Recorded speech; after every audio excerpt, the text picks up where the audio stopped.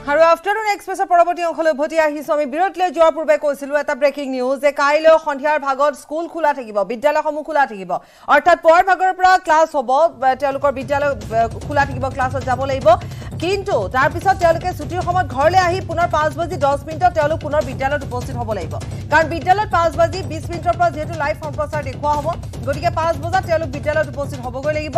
আৰু লাইভ সম্প্ৰচাৰ ইছৰোৰ যি লাইভ সম্প্ৰচাৰ চন্দ্ৰযান তিনিৰ চন্দ্ৰযান তিনিৰ অৱতৰণৰ লাইভ সম্প্ৰচাৰ প্ৰদৰ্শনৰ ব্যৱস্থা নিৰ্দেশ দিছে ছাত্ৰ ছাত্ৰীক দেখুৱাব লাগিব লাইভ সম্প্ৰচাৰ দেখুৱাব লাগিব। নিউজ এইটিন অসম নৰ্থ ইষ্টে বিয়লি পাঁচ বজাৰ পৰা কৰিব লাইভ সম্প্ৰচাৰ। আপুনিও সাক্ষী হওক এই বিৰল মুহূৰ্তৰ। পুনৰ কৈছো যে কাইলৈ সন্ধিয়ালৈকে স্কুল খোলা থাকিব। কাইলৈ সন্ধিয়াৰ ভাগত স্কুল খোলা থাকিব। অৰ্থাৎ পাঁচ বাজি পাঁচ বজাৰ পৰা ধৰিব পাৰি। পাঁচ বজাৰ পৰা যিহেতু খোলা থাকিব পাঁচ বাজি বিছ মিনিটৰ পৰা পোনপটীয়া সম্প্ৰচাৰ থাকিব। গতিকে সেই সম্প্ৰচাৰ লাইভ সম্প্ৰচাৰ দেখুওৱা হ'ব। বিদ্যালয় শিক্ষক শিক্ষয়িত্ৰীসকলে যিসকল শিক্ষাৰ্থী আছে ছাত্ৰ ছাত্ৰী আছে তেওঁলোকক বুজাব লাগিব দেখুৱাব লাগিব এই লাইভ সম্প্ৰচাৰ। লগতে নিউজ এইটিন অসম নৰ্থ ইষ্টেও বিয়লি পাঁচ বজাৰ পৰা লাইভ সম্প্ৰচাৰ কৰিব। আপুনিও সাক্ষী হওক এই বিৰল মুহূৰ্তত।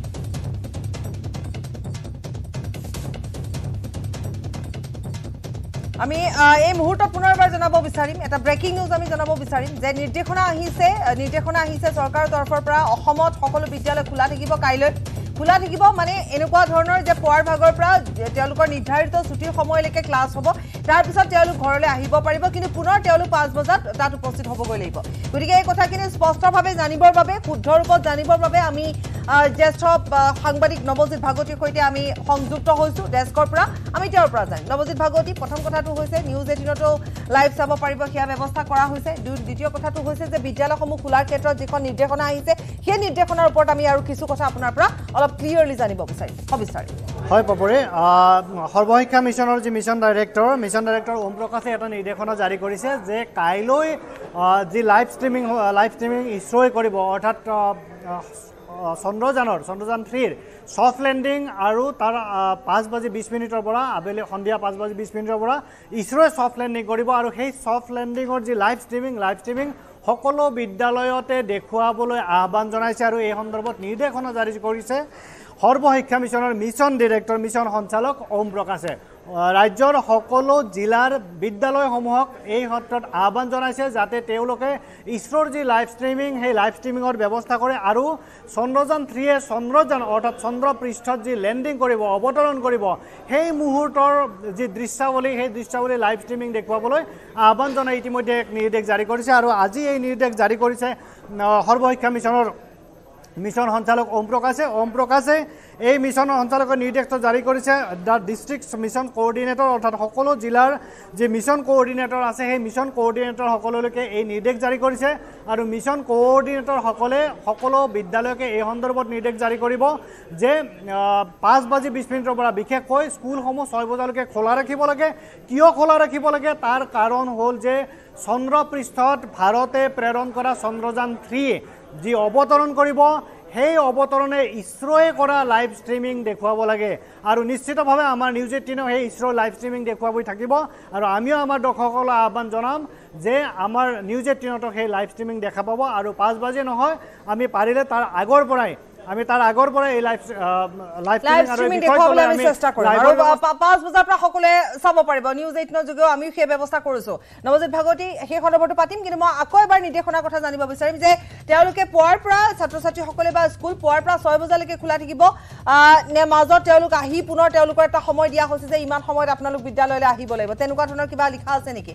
পাপৰি নিৰ্দেশত এটা কথা উল্লেখ কৰা হৈছে যে ছয় বজালৈকে বিদ্যালয় খোলা ৰাখিবলৈ আহ্বান জনাইছে বা ৰিকুৱেষ্ট কৰিছে যে ছয় বজালৈকে খোলা ৰাখিব লাগে। তাৰ অৰ্থ এইটো নহয় যে স্কুলৰ যি পাঠদান পাঠদান শেষ হোৱাৰ পিছত তেখেতসকল আহিব নোৱাৰিব বা তেখেতসকলে তাত আন একো কৰিব নোৱাৰিব। এইটো একো নিশ্চিতভাৱে বা স্পষ্টকৈ ইয়াত লিখা নাই যে কেইবজাৰ পৰা স্কুল আৰম্ভ হ'ব আমি অভিভাৱকসকলক ক'ব পাৰোঁ কাৰণ সকলোৱে নিশ্চয় এই বাতৰিটোৰ ওপৰত এতিয়া দৃষ্টি নিবদ্ধ ৰাখিব কাৰণ স্কুলৰ কথা আছে বিদ্যালয়ৰ কথা আছে। গতিকে আমি এটা কথা অন্ততঃ ক'ব পাৰোঁ যে স্কুল খোলা থাকিব পাঠদান তেওঁলোকৰ নিৰ্ধাৰিত সময় যেনেধৰণে তেওঁলোকৰ থাকে তেনেধৰণে সময়লৈকে পাঠদান হ'ব। তাৰপিছত হয়তো তেওঁলোকৰ এটা সময় দিয়া হ'ব ছুটিৰ বাবে আৰু সেয়া সেয়া হয়তো বিদ্যালয়ে ঠিক কৰিব তেনেকুৱা ধৰণৰ এটা কথা। আৰু সেই সময় এটা তেওঁলোকক দিয়া অনুসৰি তেওঁলোক হয়তো আকৌ আকৌ এবাৰ যাবগৈ লাগিব। হয়তো ঠিক পাঁচ বজাৰ পৰা। নে এনেকুৱা ধৰণৰ হ'ব পাৰে হয় পাপৰি যিটো নিৰ্দেশ দিয়া হৈছে নিৰ্দেশত স্পষ্টভাৱে এটা কথা উল্লেখ কৰা হৈছে যে সন্ধিয়া ছয় বজালৈকে স্কুল খোলা ৰাখিব লাগিব। তাৰ কিন্তু এই নিৰ্দেশত এইটো স্পষ্ট কৰি দিয়া নাই যে তেওঁলোকে স্কুল দেৰিকৈ আৰম্ভ দেৰিকৈ আৰম্ভ কৰিব নে মাজত আহিব পৰা সেই কথা ইয়াত উল্লেখ কৰা হোৱা নাই। যিহেতু স্কুলসমূহৰ টাইমিংসমূহ বা সময়সূচীসমূহ বিদ্যালয়সমূহে নিজাকৈ নিৰ্ধাৰণ কৰিব পাৰে সেইবাবে বিদ্যালয়সমূহৰ ওচৰতে এৰি দিছে যে মিছন সঞ্চালকে যাতে বিদ্যালয়সমূহে নিজাকৈ বস্তুটো বা বিষয়টো তেওঁলোকে সামৰি লয়। কিন্তু এটা কথা স্পষ্ট যে ছয় বজালৈকে বিদ্যালয়সমূহ খোলা ৰাখিব লাগে আৰু লাইভ ষ্ট্ৰীমৰ ষ্ট্ৰীমিঙৰ যি ব্যৱস্থা সেই ব্যৱস্থা লাইভ ষ্ট্ৰীমিংটো ছাত্ৰ ছাত্ৰীসকলক দেখুৱাব লাগে যাতে তেখেতসকলে বা তেওঁলোকে আহ, চন্দ্ৰপৃষ্ঠদি চন্দ্ৰযান থ্ৰী অৱতৰণ কৰিব সেই দৃশ্যাৱলী যাতে প্ৰত্যক্ষ কৰিব পাৰে বা চাব পাৰে তাৰ ব্যৱস্থা কৰাৰ বাবেহে এই ব্যৱস্থাটো কৰিছে মিছন সঞ্চালকে এটা নিৰ্দেশ জাৰি কৰিছে বা জাননী এখন জাৰি কৰিছে। জাৰি কৰাৰ লগতে স্কুলসমূহ অৰ্থাৎ স্কুলসমূহে কেনেদৰে ব্যৱস্থা কৰে তেওঁলোকে এ, দুপৰীয়া এক বজাৰ পৰাই স্কুল আৰম্ভ কৰে নে বাৰ বজাৰ পৰাই কৰে নে পুৱা নিৰ্দিষ্ট সময়ত যি পূৰ্বৰ পৰা হৈ আছিল সেই ধৰণে স্কুল আৰম্ভ কৰে। সেইটো স্কুলসমূহৰ ওপৰত নিৰ্ভৰ কৰিব। নিশ্চিতভাৱে স্কুলসমূহৰ ওপৰত নিৰ্ভৰ কৰিব। আৰু যদি শিক্ষা বিভাগৰ অৰ্থাৎ ইয়াত মাধ্যমিক শিক্ষা সঞ্চালক আছে বা প্ৰাথমিক শিক্ষা সঞ্চালক আছে তেওঁলোকে এই ক্ষেত্ৰত এটা সিদ্ধান্ত ল'ব পাৰিব। নতুবা বিদ্যালয়সমূহ অৰ্থাৎ যি পৰিদৰ্শক আছে বা আই এছ আছে বা ডি আই আছে তেওঁলোকেও এটা নিৰ্দিষ্টভাৱে নিৰ্দিষ্টভাৱে এটা সিদ্ধান্ত ল'ব পাৰিব। আৰু নতুবা প্ৰধান শিক্ষকসকলেও তাৰ এটা সিদ্ধান্ত ল'ব পাৰিব যাতে কাইলৈৰ ব্যৱস্থাটো তেখেতসকলে কেনেদৰে ব্যৱস্থা কৰে।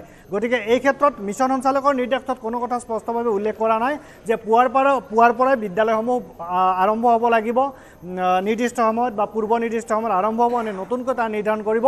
কিন্তু এটা কথা স্পষ্ট যে ছয় বজালৈকে সন্ধিয়া বিদ্যালয় খোলা ৰাখিব লাগিব আৰু চন্দ্ৰপৃষ্ঠত যি চন্দ্ৰযান থ্ৰী অৱতৰণ কৰিব তাৰ দৃশ্যাৱলী দেখুৱাব লাগিব।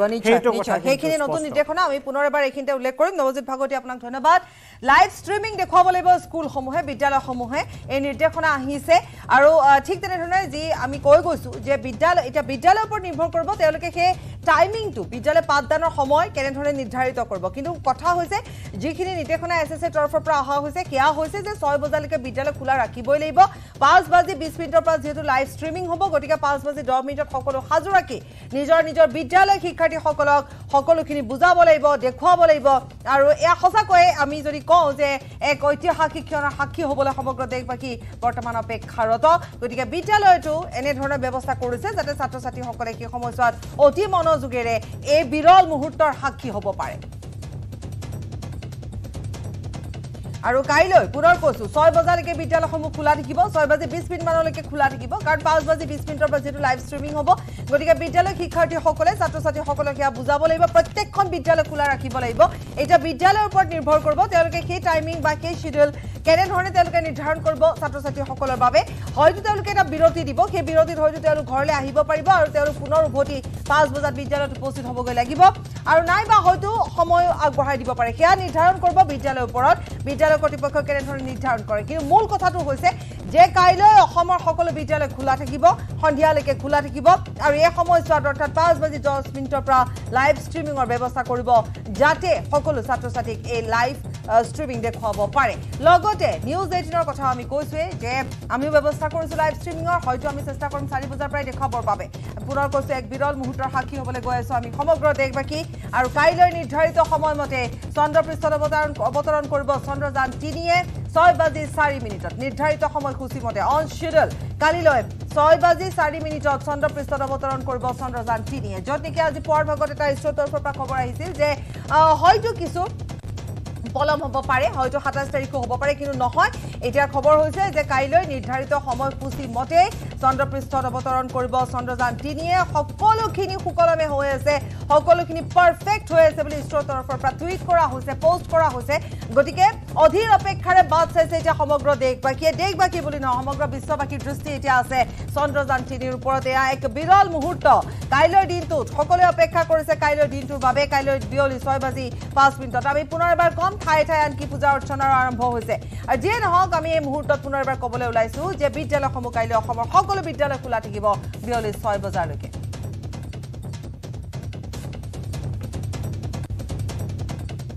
খবৰ আৰু আছে সমবিৰতি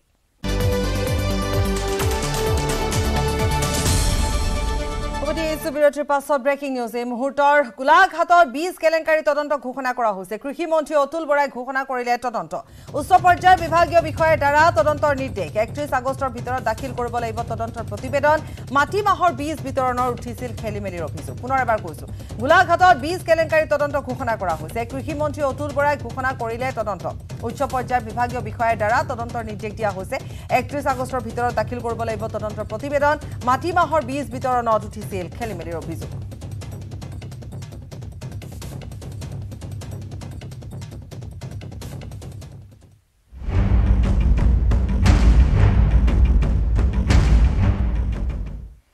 আন এটা ব্ৰেকিং নিউজ ইন্দ্ৰাণী জবিলদাৰৰ আত্মহত্যাৰ ঘটনাৰ পিছত ন ন খবৰ ওলাইছে ন ন তথ্য। নলবাৰী বেলচৰ থানাত এতিয়া নিবনুৱা যুৱক যুৱতীয়ে ভিৰ কৰিছে।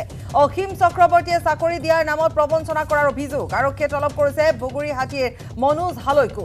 ইটোৰ পিছত সিটোকৈ খবৰ আহিছে। অসীম চক্ৰৱৰ্তী এগৰাকী তেওঁ প্ৰফেচাৰ আৰু এগৰাকী প্ৰফেচাৰ হিচাপে তেওঁ সেই সময়ছোৱাত সেইসকল লোকৰ সৈতে কেনেধৰণে টকা লৈ কেনেধৰণে চাকৰি দিয়াৰ নামত তেওঁলোকৰ পৰা টকা লৈছিল সেই কথা পোহৰলৈ আহিছে। এতিয়া যেতিয়া ইন্দ্ৰাণী তহবিলদাৰে আত্মহত্যা কৰিলে। ইন্দ্ৰাণী তহবিলদাৰৰ আত্মহত্যাৰ কাৰণ যিয়ে নহওক কাৰণ আছিলে মানসিক চাপ আৰু এখন ফটো ভাইৰেল কিন্তু এতিয়া সেই ফটোখন ভাইৰেল হোৱাৰ পিছত কেৱল মাথো এটা ঘটনা কথাই নহয় ইয়াৰ আঁৰত আৰু বহুতো যে কথা আছে সেয়া ওলাই পৰিছে যে এই যিটো চক্ৰ যিটো অসীম চক্ৰৱৰ্তী হওক দিব ডেকা হওক বা ৰেখান্ত দাস ঠিক তেনেধৰণে অনুৰাগ চলিহা অভিমন্যু দাস এই সকলোবোৰ এই সকলোবোৰ যে সকলোবোৰে এটা যে নেক্সাছ বা এই যে চাকৰি লোৱাৰ নামত চাকৰি দিয়াৰ নামত তেওঁলোকে বা ঠিকা দিয়াৰ নামত বা সুৰা বিপণীৰ নামত তেওঁলোকে টকা উঠাইছিল সেয়া কিন্তু এতিয়া লাহে লাহে যেন প্ৰমাণিত হৈ আহিছে। যিয়ে নহওক আজি যিহেতু অনুৰাগ চলিহাই এই ক্ষেত্ৰত এটা কথা উল্লেখ কৰিছে তেওঁ চাকৰিৰ নামত কোনো টকা লোৱা নাছিল কিন্তু তেওঁৰ ঘৰত যি ইন্দ্ৰাণী তহবিলদাৰৰ মাতৃ ঘৰত অভিযান চলোৱাৰ সময়ত তেওঁৰ বাসগৃহত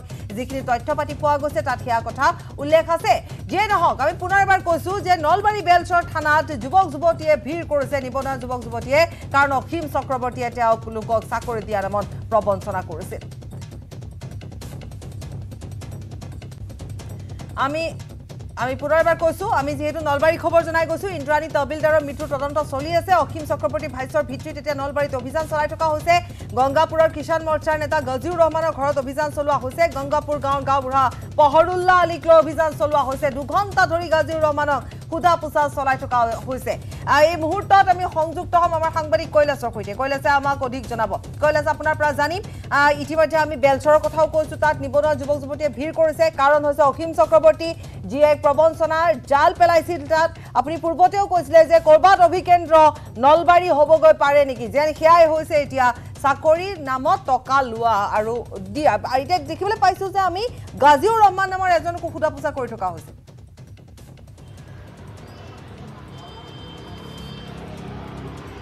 নিশ্চিতভাৱে পাপৰি ক'ব লাগিব যে যি নলবাৰীৰ যি আচলতে বেলখৰ থানা বেলখৰ থানাত যথেষ্ট যুৱক যুৱতী ভিৰ পৰা পৰিলক্ষিত হৈছে আৰু শেহতীয়াভাৱে যদি ক'বলৈ যাওঁ মানে যথ- যথেষ্ট আচলতে যুৱক যুৱতীৰ যি এডমিট কাৰ্ডে হওক বা বিভিন্ন ধৰণৰ তথ্য সংগ্ৰহ কৰিছে আৰু যি অসীম চক্ৰৱৰ্তী অসীম চক্ৰৱৰ্তীৰ ভাষ্যৰ ভিত্তিতে আচলতে এখন দীঘলীয়া তালিকা প্ৰস্তুত কৰা হৈছে আৰু সেই তালিকাৰ ভিত্তিতে নলবাৰীৰ বেলখৰৰ লগতে বিভিন্ন প্ৰান্তৰত অভিযান অব্যাহত ৰাখিছে মহানগৰ আৰক্ষীৰ লগতে বেলখৰ আৰক্ষীয়ে। কিন্তু শেহতীয়াভাৱে আমি পূৰ্বৰ বাতৰিটো উল্লেখ কৰিছিলোঁ যে গংগাপুৰ অঞ্চলত অভিযান চলাইছিল। গংগাপুৰৰ পৰৱৰ্তী সময়ছোৱাত বগুৰিহাটীৰ পৰা এগৰাকী যুৱকক তলব কৰা হৈছিল। অন্যহাতে কিন্তু বৰ্তমান সময়ছোৱাতো বেলখৰ আৰক্ষী থানাত যথেষ্ট যুৱক যুৱতীয়ে ভিৰ পৰা পৰিলক্ষিত হৈছে। কাৰণ বিভিন্ন যুৱক যুৱতীক সেই প্ৰবঞ্চনাৰ অভিযোগতে হওক বা বিভিন্ন অভিযোগত নলবাৰীৰ যি বেলখৰ আৰক্ষী থানালৈ মাতি পঠিওৱা হৈছে। কিন্তু অন্যহাতে যদিও এই মুহূৰ্তলৈকে কিন্তু যিগৰাকী অসীম চক্ৰৱৰ্তী অসীম চক্ৰৱৰ্তীক জেৰা অব্যাহত ৰাখিছে। কিন্তু এই মুহূৰ্ততো কিন্তু যি তেওঁৰ বাসগৃহত কিন্তু কোনো ধৰণৰ অভিযান চলোৱা নাই। কিন্তু অভিযান নচলেও তেওঁৰ যি নিশা নিশা লেপটপ জব্দ কৰাইছিল সেই লেপটপত বিভিন্ন তথ্য উদঘাটন হৈছে। আৰু সেই লেপটপৰ তথ্যৰ ভিত্তিতে এতিয়া নলবাৰী জিলাৰ বিভিন্ন প্ৰান্তৰত অভিযান অব্যাহত ৰাখিছে। আৰু আমাৰ হাতত পৰা তথ্য অনুসৰি আজি নিশাৰ ভিতৰতো হয়তো বিভিন্ন প্ৰান্তৰত অভিযান অব্যাহত ৰাখিব যে এই যি অসীম চক্ৰৱৰ্তী এই গোটেই ঘটনাটোৰ আঁৰত প্ৰথমতে ফটো ভাইৰেল হোৱা যিহেতু দিব দিবন ডেকাৰ পৰাই ফটো ভাইৰেল হৈছিল বুলি কোৱাই হৈছে শ্বেয়াৰ কৰিছে। সেয়া এটা বেলেগ বেলেগ পৃষ্ঠা বেলেগ চেপ্টাৰ কিন্তু এই যে অসীম চক্ৰৱৰ্তী যাৰ নাম সাঙুৰ খাই গৈছিল অৰ্থাৎ তেওঁ যে এই চাকৰি যিটো নেক্সাছ চাকৰি দিয়াৰ নামত যিটো টকা উঠোৱা হয় ইয়াত কিন্তু ওতপ্ৰোতভাৱে জড়িত বুলি এক প্ৰকাৰ প্ৰমাণিত হৈছে বুলি ক'ব পাৰি। নে কি কয় কৈলাশ কাৰণ যিমানখিনি তথ্য পোৱা গৈছে বা এতিয়া নিবনুৱা যুৱক যুৱতীৰ ভিৰ লাগিছে তাৰোপৰি অন্য লোককো সোধা পোছা কৰা হৈছে।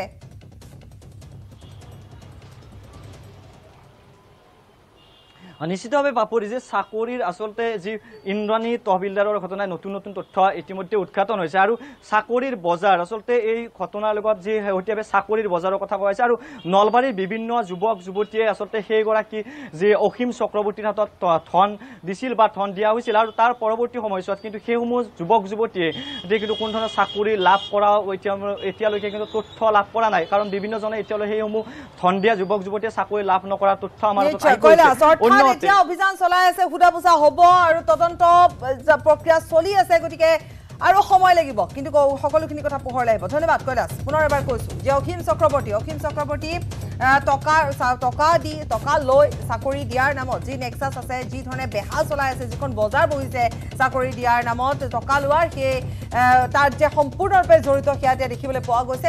তেওঁৰ লেপটপ ইতিমধ্যে লোৱা হৈছে জব্দ কৰা হৈছে তাত বহুখিনি তথ্য পোৱা গৈছে। আনকি সোধা পোছা কৰা হৈছে বহুতকে গাঁওবুঢ়াকো সোধা পোছা কৰা হৈছে। তাৰোপৰি গাজীউৰ ৰহমান যিগৰাকী কিষাণ মৰ্চাৰ কথা আমি কৈ গৈছো তেওঁৰ নেতা। আৰু তাৰোপৰি তাৰোপৰি বহুকেইজন যুৱক যুৱতীয়ে আজি বেলচৰ থানাত আহি ভিৰ কৰিছে। অসীম চক্ৰৱৰ্তীয়ে তেওঁলোকৰ পৰাও টকা লৈছিল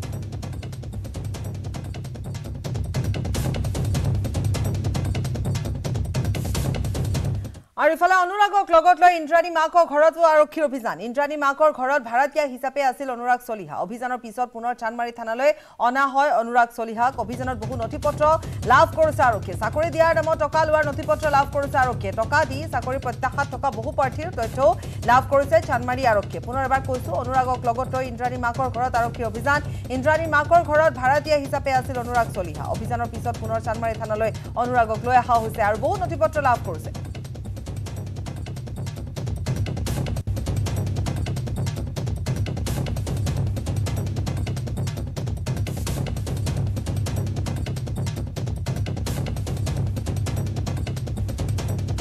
আৰু ইন্দ্ৰাণী মৃত্যুকাণ্ডত সাঙুৰ খাইছে আৰু দুই বিজেপি নেতাৰ নাম। নাম সাঙুৰ খাইছে মৃগাংক বৰ্মন আৰু প্ৰণৱ লহকৰৰ। চান্দমাৰী থানালৈ তলব কৰা হৈছে মৃগাংক বৰ্মন আৰু প্ৰণৱ লহকৰক মৃগাংক বৰ্মন আৰু প্ৰণৱ লহকৰলৈও দিবন ডেকাই সেই ফটো শ্বেয়াৰ কৰিছিল। ইতিমধ্যে কোৱাই হৈছে যে যিখন ফটো আছিল যিখন ফটোক লৈ মানসিক চাপত পৰিছিল ইন্দ্ৰাণী তহবিলদাৰ সেই ফটোখন দিবন ডেকাই কাৰ কাৰলৈ শ্বেয়াৰ কৰিছিল? তেওঁলোককো ইতিমধ্যে মাতি অনা হৈছে আৰু মাতি আনি তেওঁলোকক সোধা পোছাও কৰা হৈছে। আৰু কালি দিনটোতো আমি দেখিছিলোঁ দুগৰাকীক সঞ্জীৱ শৰ্মা আৰু কপিল তালুকদাৰক যাবলৈ দিয়া হৈছিলে চান্দমাৰী থানাৰ পৰা কাৰণ তেওঁলোক জড়িত নাছিল। তেওঁলোকলৈ মাথো দিবন ডেকাই সেই ফটোখিনি পঠিয়াইছে। গতিকে মূল মূল অভিযুক্ত বুলি ক'লে দিবন ডেকা যি দিবন ডেকাই বহুতলৈকে সেই ফটোগ্ৰাফ পঠিয়াইছিল যিখন ফটো অনুৰাগ চলিহাৰ মোবাইল ফোনৰ পৰা পোৱা গৈছিলে। তাৰপিছতে সেই ফটোখন বিভিন্ন জনলৈ প্ৰেৰণ কৰিছিল। দিবন ডেকাই। দিবন ডেকাই সেই কথা নিজেও স্বীকাৰ কৰিছে। তেওঁ আনকি ইন্দ্ৰাণী তহবিলদাৰৰ মৃত্যুৰ এদিন পূৰ্বে ক্ষমা খুজিছিল মাফ খুজিছিল যে মই ভুল কৰিছো মই মহাপাপ কৰিছো। কিন্তু যিয়ে নহওক দিবন ডেকাই সেই ফটো শ্বেয়াৰ কৰা যাৰ যালৈ শ্বেয়াৰ কৰিছিল তেওঁলোকক ইতিমধ্যে তলব কৰা হৈছে চান্দমাৰী থানালৈ আৰু সোধা পোছা কৰা হৈছে।